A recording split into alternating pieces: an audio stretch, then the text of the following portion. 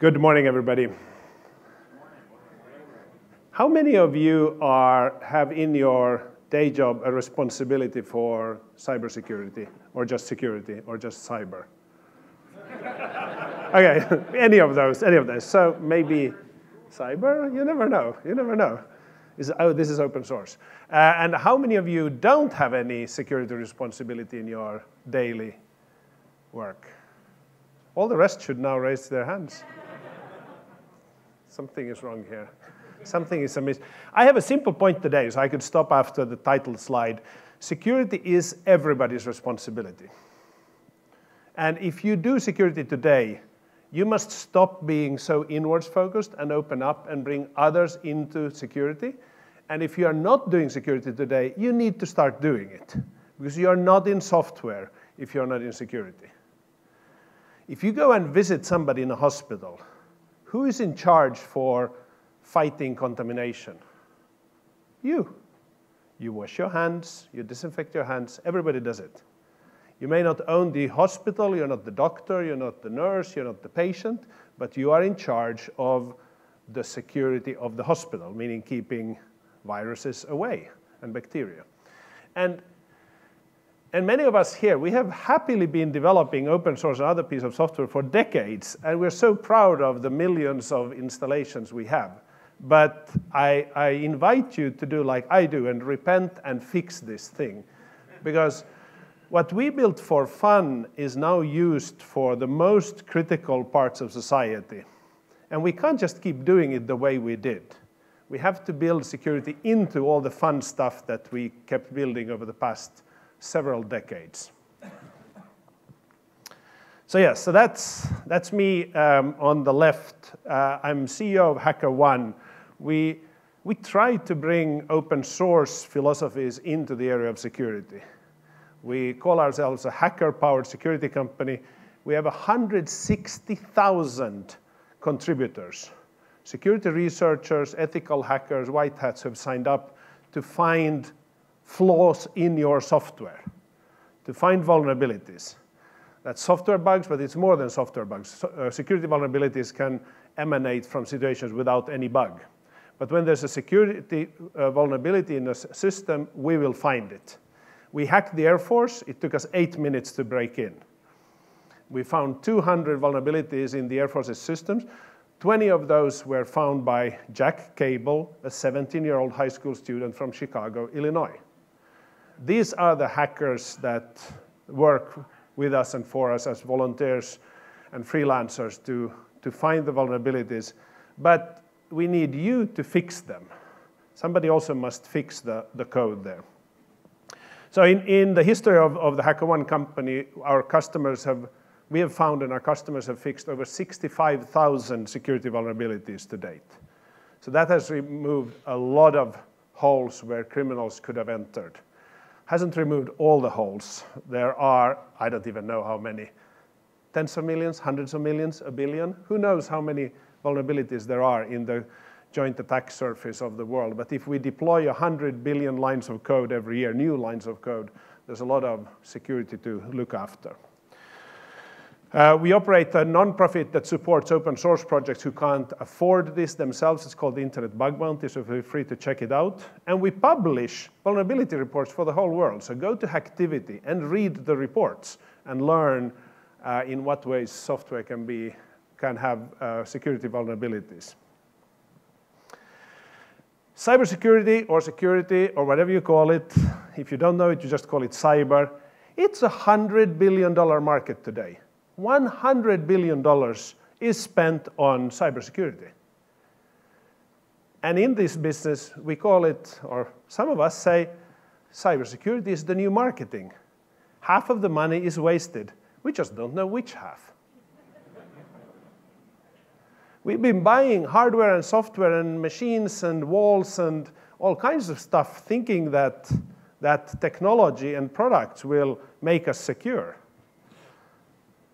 But that's not true. It isn't security. It doesn't make you any more secure if you buy more hardware. If you pile up hardware around your company and you have a perimeter, it doesn't make you more secure.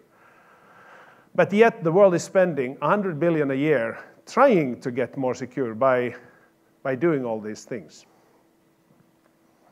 The, the answer is, is much more simple and much more boring and unpleasant because this is security.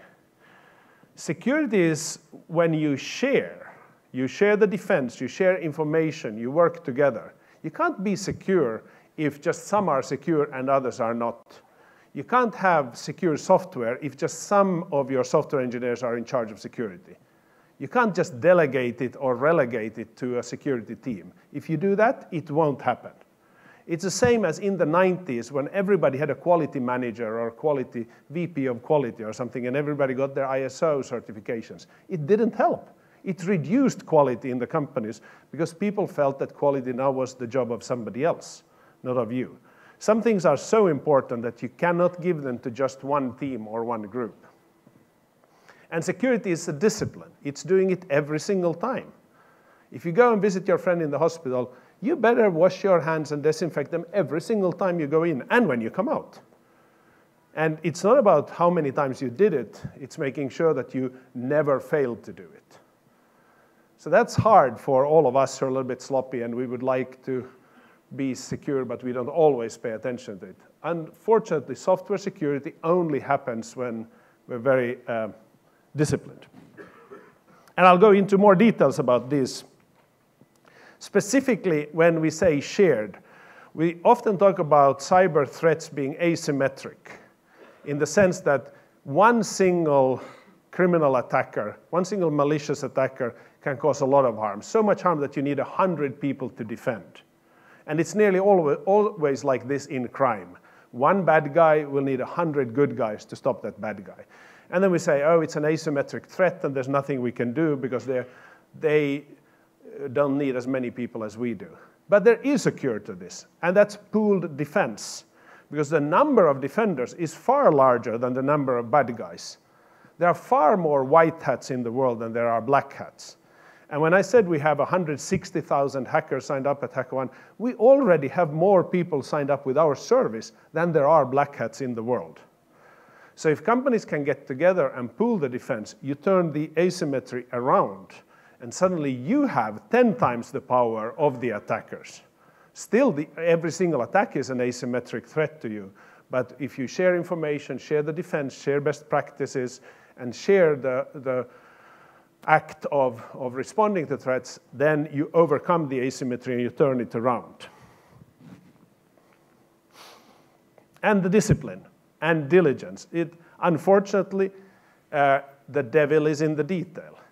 Everybody talks about uh, Equifax, and it's a very sad story, and we could probably note that that company has so many failures and, and acts of negligence or sort of omissions uh, in their, the way they handle security, and all of this bad stuff happened, and it's just getting worse.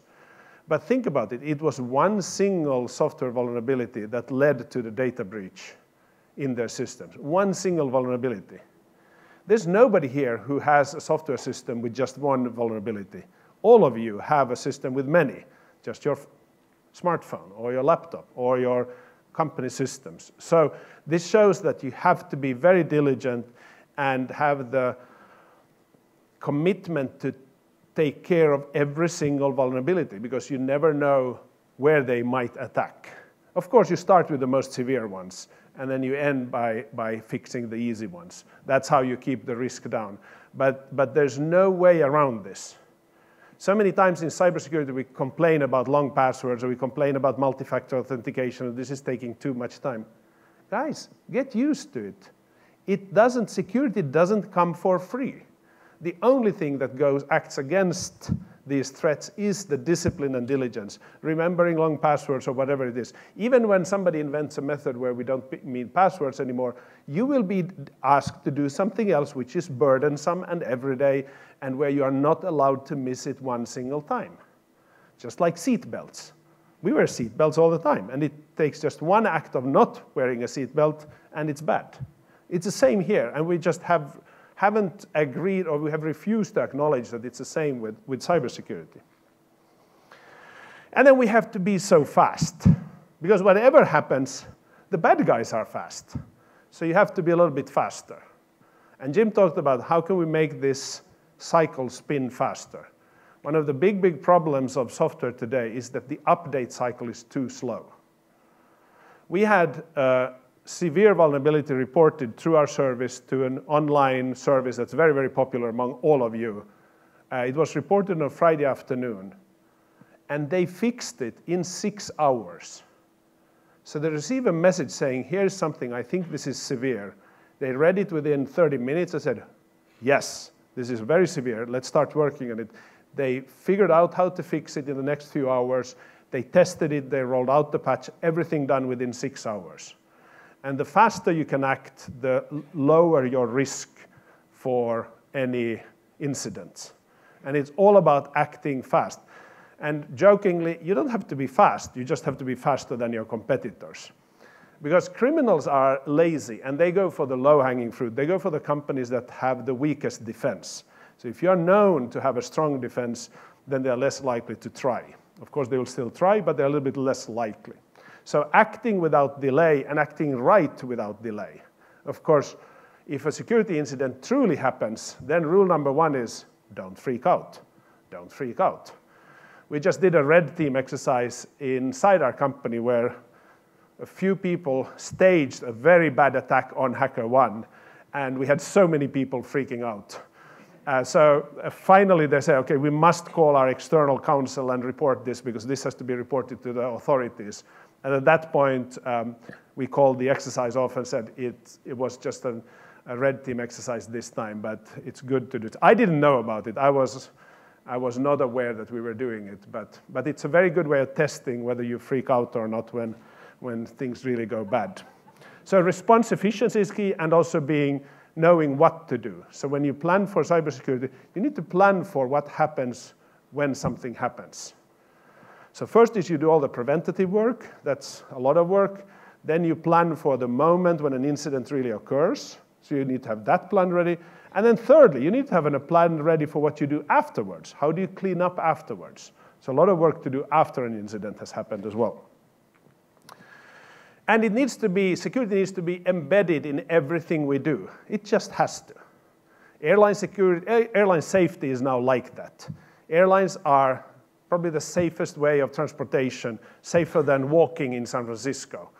And it is because they've embedded it in everything they do. You cannot build an airplane or an engine or a wheel or anything a bolt for a screw, any small little piece for an airplane without having it tested and approved. And everybody who works there will think about safety every day. They share everything with competitors, and they've embedded safety in everything airlines and airports uh, and aircraft do, and that's why it is so safe. We just haven't done it in software yet. This is a juvenile industry compared to to the airline industry. But then there was a time when flying was very dangerous. It is not anymore. So if there was a time when software was very dangerous like now, there will come a time when it's not dangerous anymore. We will figure this out, but it will require embedding it in everything we do. So in summary, here are things we must do. You are, many of you are already doing it, so I'm partly preaching to the choir here.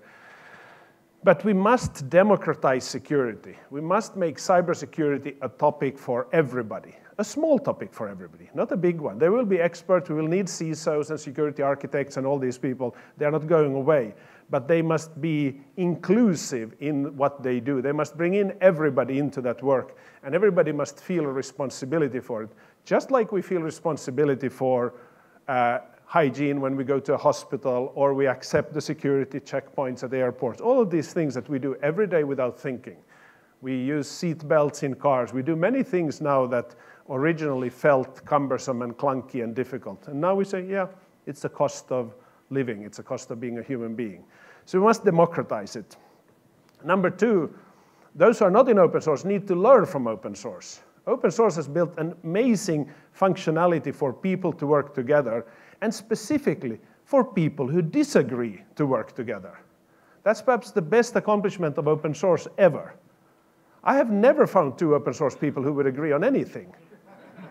Yet it works. So you build the governance of how to resolve conflict, how to vote, how to decide which feature to do, whether it's quality or shipment time or what matters. And building this ability for conflict resolution is, is one of the great accomplishments of, of open source. And then with that goes the transparency. You can't do that if you're not transparent. You need to share. Uh, we need to legislate cyber hygiene. This is a message for Congress and parliaments in other countries when it's a shared responsibility like this, it won't happen if our elected uh, legislators don't state so in a law. And we have no law today that would really mandate companies to take care of this. It's finally happening, I think. I don't know how fast those, those wheels rotate. They weren't on Jim's slide. It can take years. But it's important that we set a standard that nobody can avoid and nobody can can uh, um, stay away from. And then with software, we need to be able to fix software, and if software cannot be patched or fixed, then deprecate it. Stop living and working with software that isn't designed for this connected world. With so much software that was designed before the internet, or that assumed that no, not everybody could connect it. Today, everything is connected. If the software can't handle it, if you can't roll out, roll out a patch when you find a security vulnerability, then deprecate the whole thing.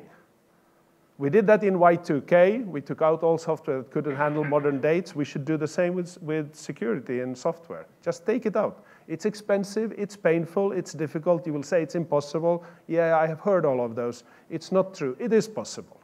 The world has to go on. And then as, as a message to our educational institutions, don't call it computer science and software engineering unless there's security in it. Today, you can graduate in CS without taking a single course in security. You don't have to pay any attention to security. And I certainly didn't when I took my degree a long time ago. But now we must change that. It has to become part of everything we do. And when we do all of this, the ship will turn. It's a big ship, so it'll turn slowly but it will turn and we will get to a state that is similar to what we have with airline safety or hospital hygiene or car uh, automotive safety, where today it all works. But it works because we do it together and we jointly take responsibility for it. Thank you.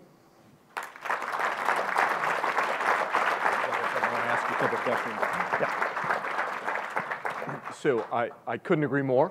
Uh, obviously, that's one of the reasons you're here. Uh, but you know, one of the things that uh, is happening this week, and I want to encourage people, is I think you're so right in that there's not any single solution. It is a collective responsibility. I'll give you a couple of examples that are happening yeah. this week. Yeah. Uh, SPDX is uh, an initiative that we've been working on for a long time at the Linux Foundation in order to understand a software bill of materials. This was largely for license compliance, but to your point, is if you don't know what software you're actually running, if you don't have an easy way for an upstream supplier to provide that to their downstream supply chain, how are you going to fix anything, right? You don't Very even true. know. Very true. So these are things, you see how these things start to interconnect to Marten's point, which if we all think of and take responsibility and create this culture of like, hey, I've got a different way of trying to solve that same problem, we're all going to have better outcomes. So I love the perspective. Thank you so much. Thank you. Thanks, Jim. Thank you.